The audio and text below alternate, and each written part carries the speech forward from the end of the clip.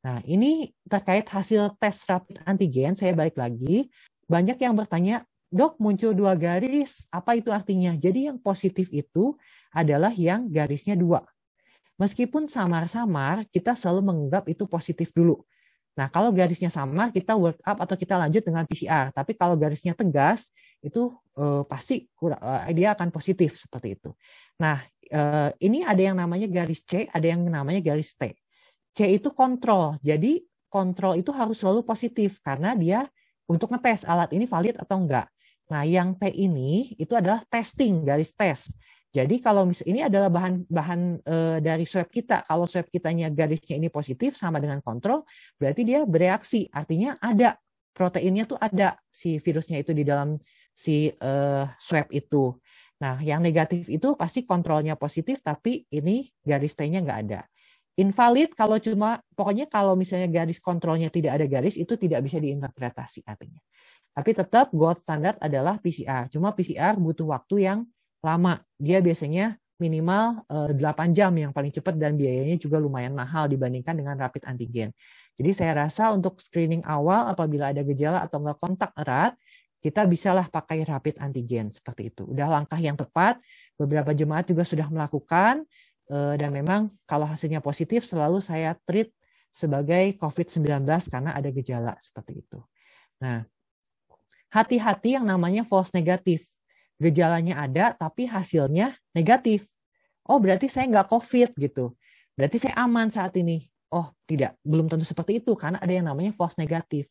Artinya negatif palsu. Hasilnya nggak bisa dipercaya. Kenapa? Karena kita harus tahu juga timing pengambilan waktu swab yang tepat baik PCR maupun rapid antigen itu bisa false negatif dua-duanya. Nah, inilah yang berbahaya kalau kita tetap tidak menjaga eh, protokol kesehatannya. Kita oh karena kita sudah negatif, saya rutin di antigen seminggu sekali antigennya negatif, terus kita bisa ke mana-mana bebas tanpa menggunakan masker. Nah, itu hal yang berbahaya karena kita mengenal ada yang namanya false negatif. Namanya pemeriksaan penunjang itu namanya tidak bisa dipercaya 100% juga gitu. Nah, untuk PCR, waktu swab yang tepat itu, kalau kita tidak ada gejala itu 8 hari setelah terpapar, itu kemungkinan besar akan positif. Atau 3 sampai 5 hari setelah munculnya gejala. Jadi tidak bisa cepat-cepat juga gitu. Untuk tes antigen, paling baik saat 5 hari setelah terpapar atau 1 sampai 5 hari setelah munculnya gejala gitu. Jadi antigen itu lebih cepat, makanya kita eh, begitu muncul gejala di hari pertama kita bisa lakukan tes antigen dulu gitu. Tapi kalau misalnya nanti hasilnya negatif, tapi gejalanya masih ada, nah itu harus diulang pemeriksaannya. Jadi anjuran WHO itu kita mengulang tes jika hasilnya negatif namun masih bergejala. Jadi kita coba ulang biasanya tiga hari lagi atau enggak mau besok kalau misalnya kita punya banyak alatnya ya enggak apa-apa mau setiap hari di swab dan kita rela untuk di swab tiap hari juga demi keamanan itu juga boleh gitu. Nah biasanya sih ulang di hari ketiga sampai ketujuh gitu ya. Jadi di sini ulang tes jika hasil negatif namun masih bergejala. Ulang tes jika muncul gejala setelah hasil negatif. Jadi awalnya nggak ada gejala nih, dites negatif. Terus eh dua hari kemudian setelahnya ada demam. Nah itu kita harus lakukan tes ulang.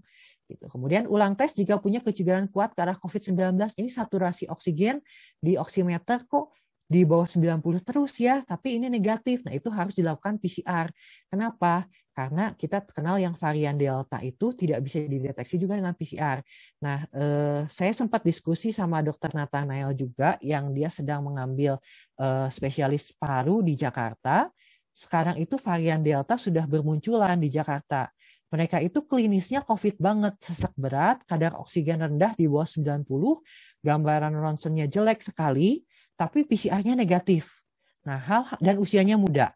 Dan hal-hal seperti itu yang menyebabkan si PCR-nya ini harus dikirim ke uh, Litbangkes. Jadi mereka uh, buat alat PCR yang deteksi genetik yang baru. Dan itulah yang varian Delta ternyata ketahuan. Jadi baru uh, muncul bermunculan kasus memang kasus varian Delta ini sudah ada di Indonesia seperti itu.